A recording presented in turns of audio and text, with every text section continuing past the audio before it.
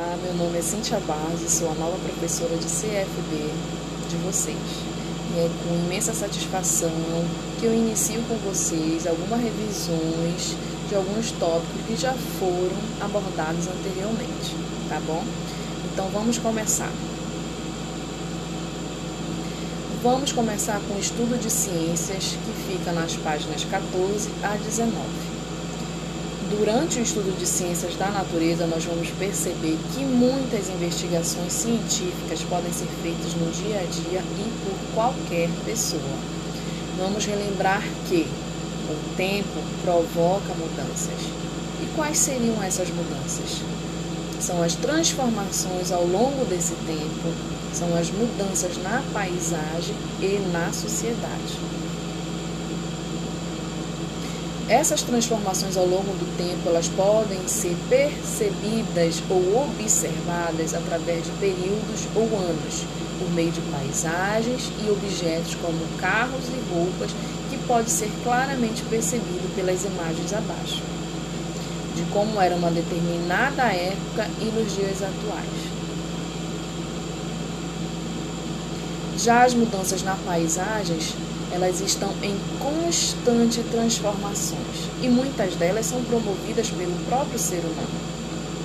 E como é que o ser humano participa dessas tais transformações? Geralmente é através do desenvolvimento de áreas urbanas, plantio, de desmatamentos de florestas e também com a canalização de rios e etc.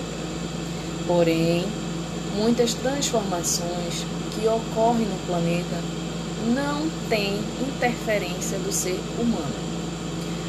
E sim, são transformações naturais. Um exemplo são as formações de ilhas, as rachaduras no solo por causa de um terremoto e de clareiras em mata provocada pela queda natural de uma árvore. Aqui nós temos dois exemplos, que são as rachaduras no solo provocadas por um terremoto a clareira da queda de uma árvore, que já foi mencionado.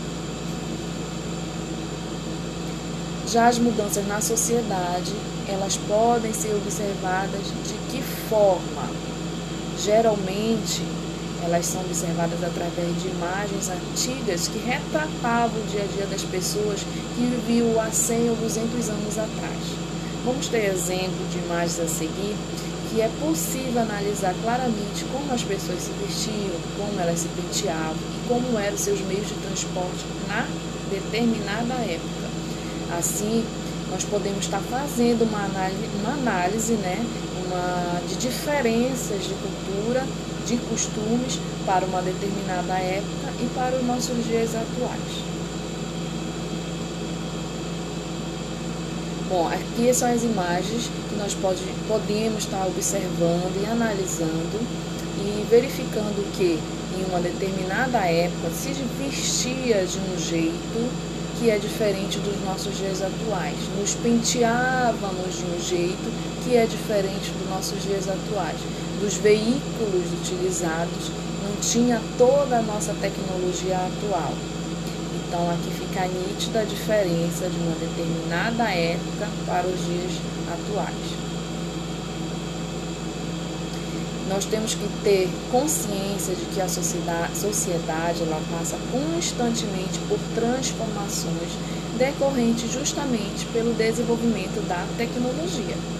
Antes nós só nos comunicávamos através de telegramas e cartas. Esses eram alguns meios de comunicação mais utilizados pela sociedade na época e que hoje já foram inventados telefones fixos, telefones celulares, nossos computadores e a internet, nos quais são os nossos meios de comunicações atuais. Os avanços tecnológicos, em linhas gerais, podem contribuir para o desenvolvimento e a melhoria da qualidade de vida de, de, da sociedade em si.